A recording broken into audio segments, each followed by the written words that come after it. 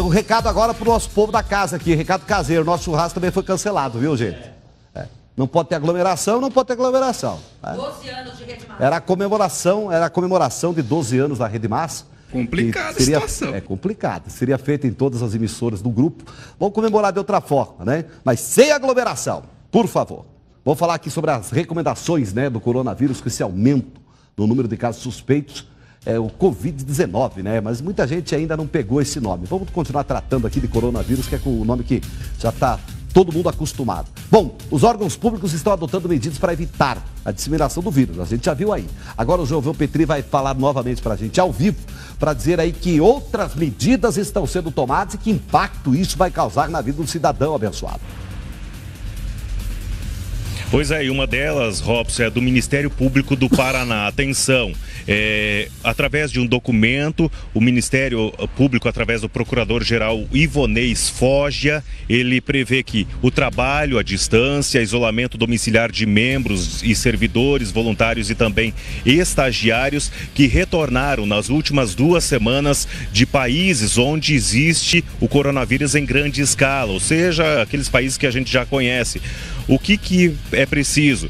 É, também pessoas acima de 60 anos, gestantes, lactantes, portadores de doenças crônicas com risco de mortalidade por conta do coronavírus, é, que essas pessoas trabalhem à distância. Mas atenção, é, todos estes casos devem ser comunicados e serão analisados pela Divisão de Saúde Ocupacional do Departamento de Gestão de Pessoas do Ministério Público do Paraná.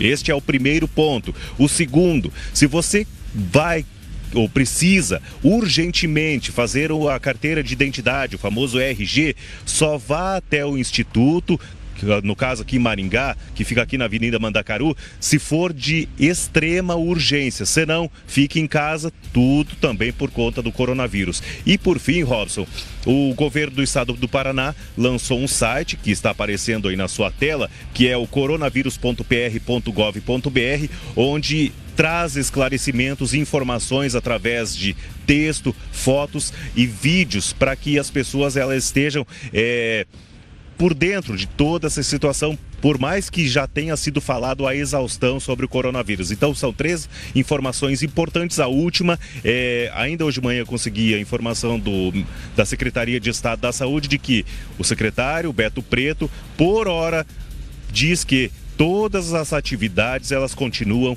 normalmente, Robson. É, mas agora acabou de chegar a informação aqui que às 5 e meia da tarde o governo vai lançar aqui um pacote de medidas de prevenção ao coronavírus. Quer dizer, a informação é tão rápida que a gente não consegue ficar atualizado, viu, Gilvan? Mas obrigado, você está liberado. Uma ótima semana, que Deus te abençoe e proteja você e a sua família. Com relação ao transporte público, estou recebendo informação aqui, perguntei agora há pouco, porque uma telespectadora me questionou, vai, vai haver mudança no transporte público? Há possibilidade do transporte público ser paralisado? Aqui diz a nota da Prefeitura que orientou a TCCC o protocolo de reforço na higienização dos ônibus. Os usuários devem manter hábitos de higiene, como lavar constantemente as mãos com água e sabão ou álcool em gel.